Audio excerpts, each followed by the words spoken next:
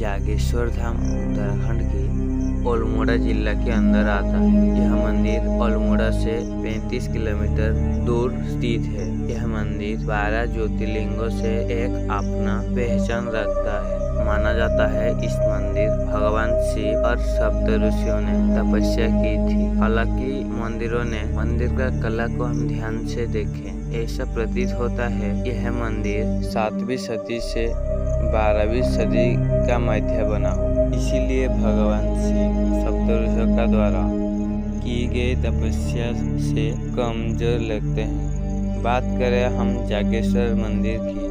मंदिर को बनाने का कार्य कत्यूरी राजा को दिया गया था, क्योंकि कत्यूरी राजाओं को द्वारा कई मंदिरों की वास्तुकला और सही समान है। इसी का उदाहरण हम माने बागेश्वर की बागेश्वर की तहसील गरुड़ में स्थित वैष्णव मंदिर को हम ले सकते हैं। भारतीय पुरातत्व को हम माने यह मंदिर कत्यूरी राजा को कत्यूरी राजा का द्वारा स्थापित किया गया था, जो कि बाद में फिर चंद्र वंश का राजा इसका देखरेख किए थे।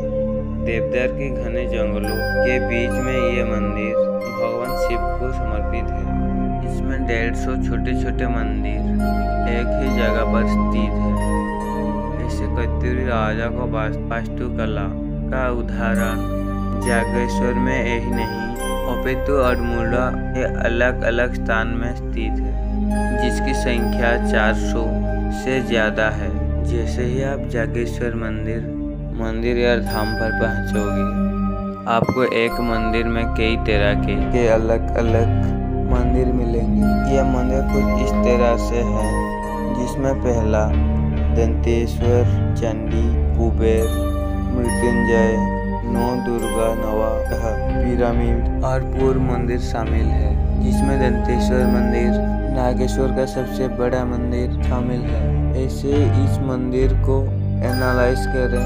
ऐसा नहीं लगता है कि एक जमाने में यहाँ पूजा की जाती होगी। क्योंकि अधिकांश मंदिर के द्वारों इतने छोटे हैं, जहाँ पुजारी भी नहीं बैठ सकता है। और इस मंदिर की वास्तुकला इतना प्रभावशाली है कि प्रभावशाली नहीं दिखती है, जो इस बात का समर्थन करे। जो पूजा जैसी धार्मिक गतिविधियाँ होती होंगी। इस धर्म में कुछ मंदिरों का आकार आकार और स्थिति ब्रह्मदेव पिंडों पर स्थापित है कि उस समय के हिसाब से काफ़ी आधुनिक लगता है। दोस्तों, आप लोगों ने बड़े आकार के ऊपर लगी लकड़ी की छत को देखा होगा। इसे इसके लिए लगाया जाता है, न कि इस मंदिर में। नेपाली और तिब्बतियों का प्रभाव देखें। विशाल देवदारों के घने जंगलों के बीच पर स्थित मंदिर में एक, दो तनक वाला विशाल देवदार के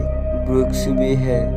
कहते हैं, इस वृक्ष की परिक्रमा करने से मनोकामना पूरी होती है। ठंड के समय में जागेश्वर मंदिर के ऊपर बहुत ही बर्फबारी होती है।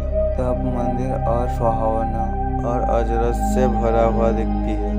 ऐसे घने जंगलों में स्थित होने के कारण जागेश्वर धाम विद्वानों की नज़र से हमेशा छुपा रहा वरना हम इस मंदिर के बारे में और कुछ भी जान सकते क्योंकि अचानक इस मंदिर की बड़े तेलारने में फैल जाना एक रहस्य की ओर संकेत करता है। और दूसरा कारण इस मंदिर की बारे में अभी भी सटीक जानकारी प्राप्त नहीं है। दोस्तों, आशा करता हूँ ये एपिसोड आपको काफ़ी पसंद आया होगा।